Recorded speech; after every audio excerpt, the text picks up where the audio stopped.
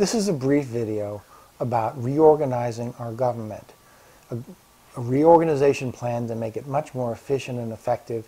As I've argued before in another video, our current constitution does not do a good job. It violates many of the principles of good government, which include majority rule, one person, one vote, representative government, competitive elections, and national self-determination.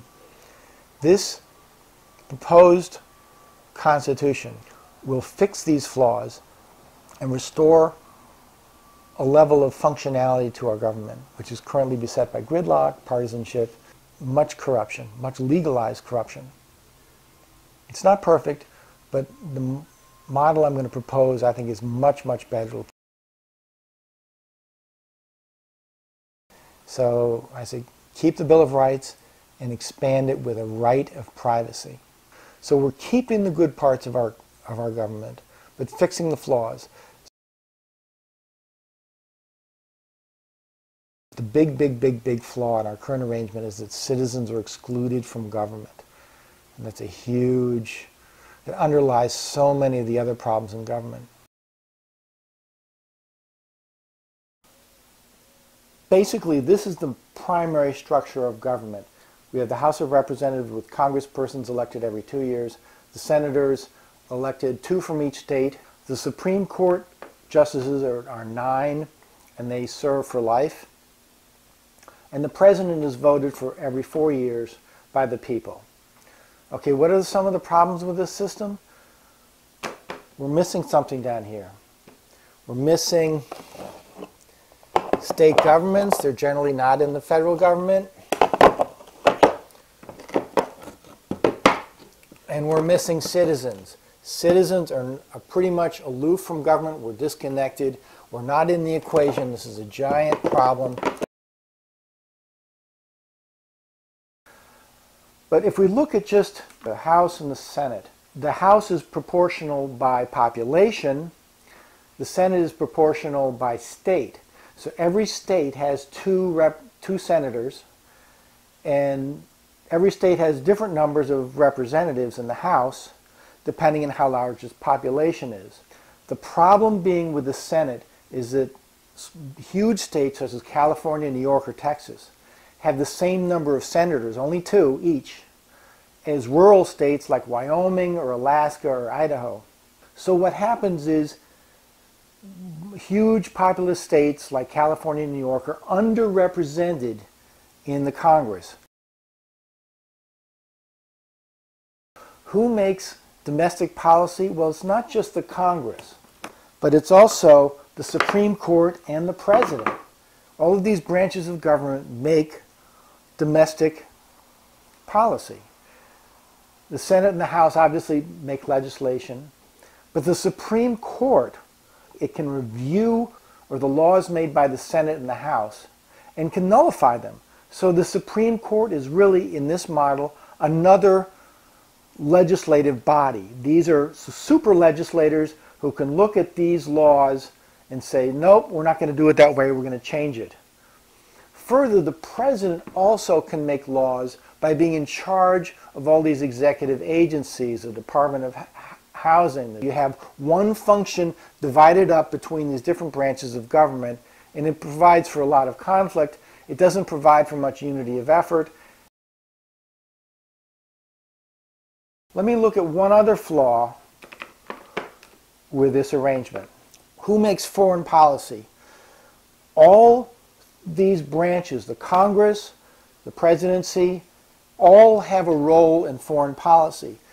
The Senate has the role of ratifying treaties.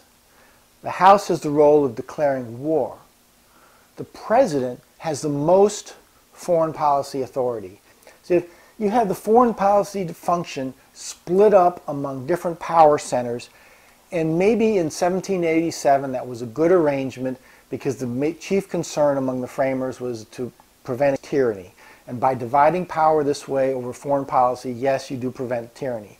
The problem is, in today's world, it doesn't make much sense because now if there's a problem with foreign policy, every different branch can point to the others. The president can say, well, it's the House's fault.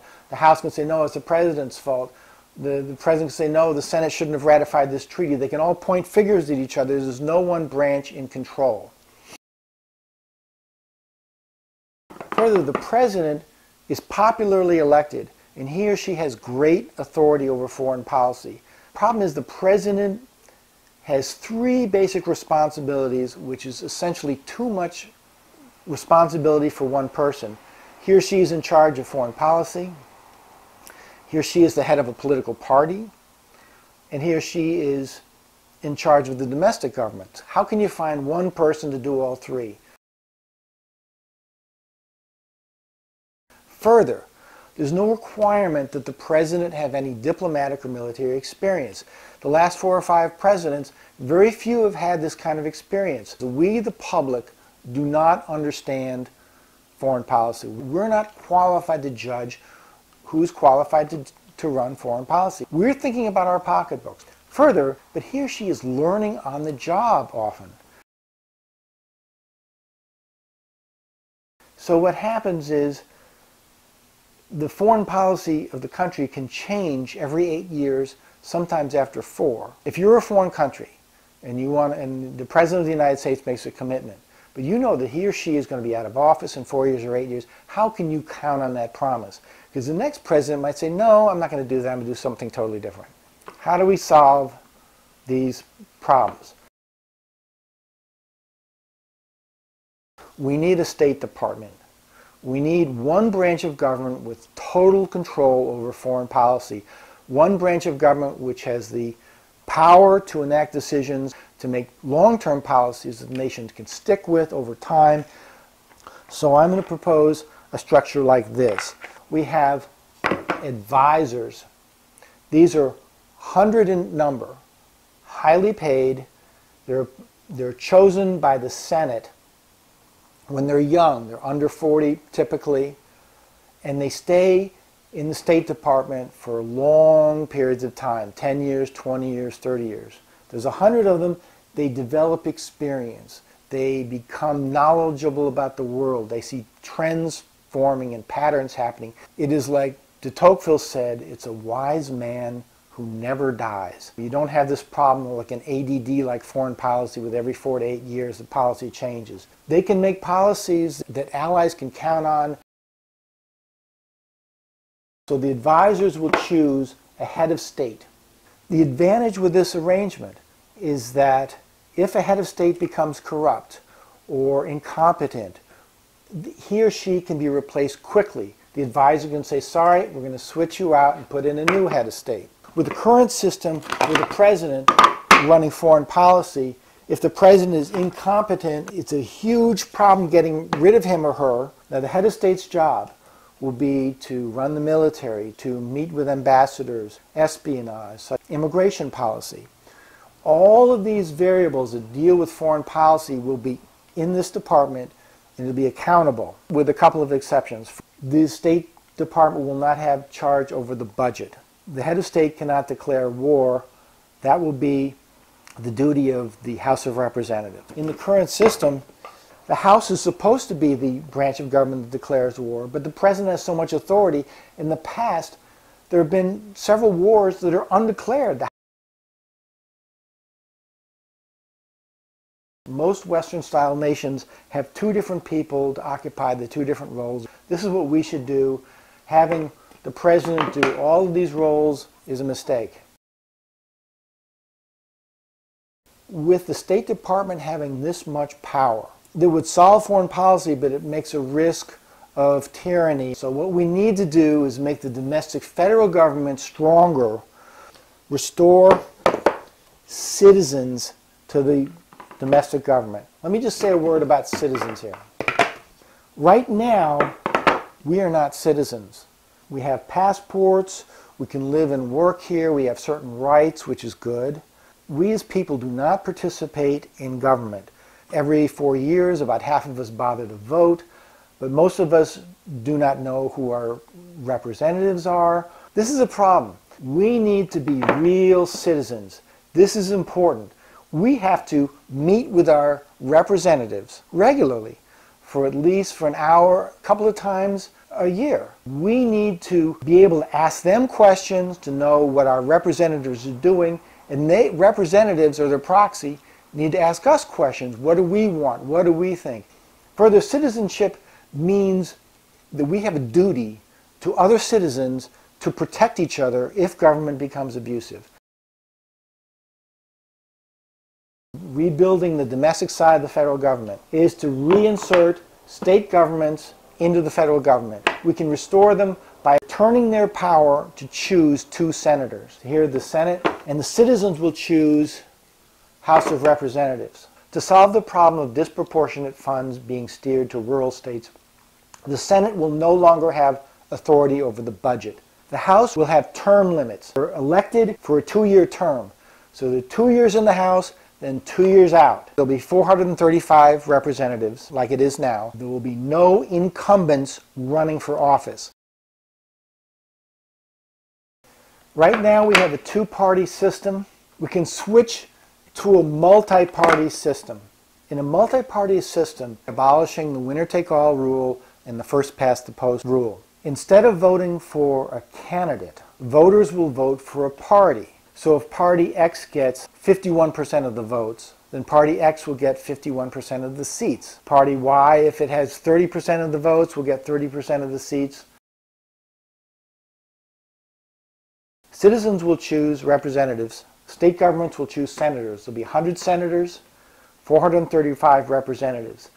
This branch of government will be in charge of the budget, will have the power to declare war. The Senate will be people that the state governments trust. And the House, at the beginning of every two-year term, representatives choosing one senator to be the president.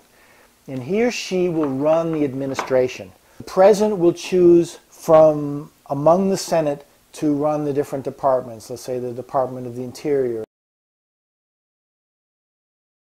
A benefit with this structure is a unified government that's all pretty much on the same page. It's refreshed every two years with a new vote, and yet it's internal, consistent. The Senate brings six-year terms of experience, people that are trusted by the state governments. The House brings the will of the people expressed here. When the House chooses a president, they know that they're going to choose somebody with experience because they've been in the Senate. So it's a president, and they're going to run domestic policy.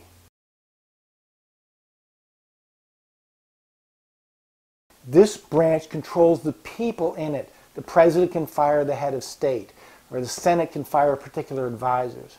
But this branch of government, the domestic government, cannot control the policies of, the, of this branch of government. The domestic government will be the one that we relate to as people. We are well qualified to choose our representatives because we know what we want. We'll vote on pocketbook issues. By choosing a senator to be the president, we, we can trust that the president will have experience. It won't be somebody who's learning on the job. This branch of government will monitor the State, the State Department. The Supreme Court will no longer have the power of judicial review, will not be super legislators.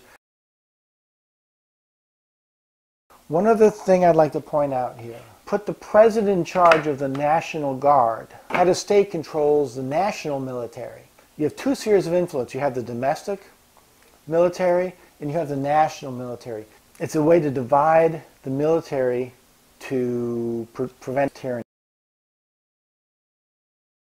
A representative will get in office and he or she will be there for 10, 20, 30, 40 years. They're stuck there because they like the money, they're well paid, they've rigged the rules so they get reelected again and again and again. They don't have to listen to the constituents because the elections aren't competitive same thing with senators. We have senators in office for extended periods of time. And to some extent, that's good. They get experience. In my model, uh, they will stay in office hopefully long times. But there's not much of a flow of offices. You can have a president come out of nowhere. You can have a president with no experience, a reality TV star. Anybody who has money can become president without having run the, the run of offices. The new system will encourage politicians to get experience in many different offices so that they learn government from different points of view. An entry point might be in their state government as a as state senator or state representative. They might then run for a House seat. They're two years in the House, two years out. Maybe they can become a senator, they can become a president. Officials will have the chance to work in many different capacities, all of the time getting more and more experience. The idea of a federal arrangement, each state decides for its own, and that means that for us citizens, there are 50 separate states competing to attract us to move to their state, looking to have the best business regulatory framework. This gives us huge freedom. If we're dissatisfied with our situation, we can move to a state which regulates better and we don't have to change countries. The individual state governments can learn from each other. They can say, oh, Rhode Island's regulating better than New Jersey, so New Jersey can copy the Rhode Island rule. This is the beauty of the federal arrangement. Overall, this is one structure. There are probably other ways to reorganize government, but this structure would work well for the 21st century America. This is basically a brief outline of my proposed constitution. It's more elaborated, more in depth in my book Common Sense 2. It's on Amazon or Kindle. Thank you for listening.